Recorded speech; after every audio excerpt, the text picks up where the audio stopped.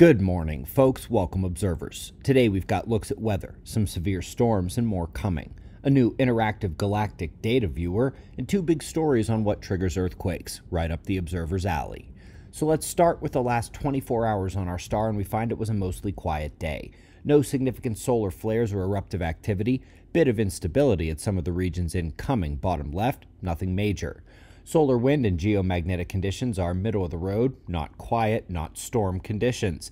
And as we look ahead to today, the lone complex sunspot group is morphing a good bit, but not in ways that develop size or the complexity to Delta class configurations. Alas, there and whatever is coming over the limb right behind it are the main eruption watches as we enter the second half of the week. Coronal hole is facing us now, magnetically connecting today, with enhancements in the solar wind expected to arrive over the weekend. Eyes open for all of it.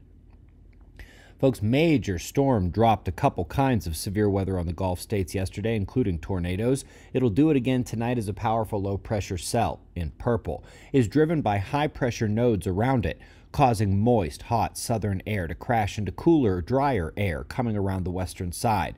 Convergence line is where the storms kick up. Eyes open again this evening. Up next, folks, this might not look like much to many of you, almost like a broken version of the wind map at earth.nullschool.net, but it's the galactic data. That's right. You can see age, velocity, density, several different items, and can work it through distance from the sun as well, not to mention the ability to change the map pattern, map shape, and to drag and contort the map. It's basically the wind map for astronomers and at the galactic scale. Very cool. Coming down the stretch, we begin with planetary forcing of earthquakes, and yep, that's exactly what it sounds like, with clear periodicities that match known orbits and orbital resonance, including some from Venus, Jupiter, and Saturn. That 11 year one, by the way, is the earthquake uptick tied to the solar cycle, which we've seen discussed dozens of times before, and actually, let's make that a few dozen and one. Another interesting thought piece on mechanisms of how the sun is triggering earthquakes. Not a huge fan of this heat hypothesis. I prefer electromagnetic forcing, but they wouldn't have anything to hypothesize at all if the data weren't so darn clear that the correlation between the sun and earthquakes exists. Now they just have to explain how it works.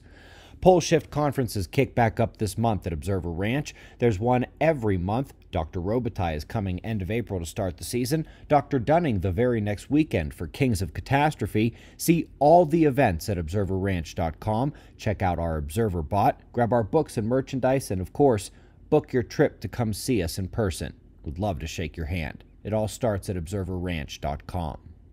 We greatly appreciate your support. We'll do this all again tomorrow right here. But right now, it's 5 a.m. in the new Valley of the Sun.